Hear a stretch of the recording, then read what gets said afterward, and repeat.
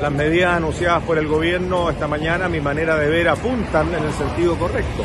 Más de 4 millones y medio de personas mantendrán las ayudas que reciben y 2 millones y medio aproximadamente que no han recibido nada se incorporan, particularmente mujeres, personas en situación de discapacidad, mayores que no recibían nada. Sin embargo, nada se dice de cómo apuntar directamente a la raíz del problema alimenticio. Sí, el bono de 120 mil pesos eh, puede servir para comprar comida, pero también es necesario para cubrir montones de otros gastos. Lo que nosotros hemos dicho que hay que estimular nuevamente la producción nacional. Chile ha perdido 1.400.000 hectáreas que hoy día no se están sembrando.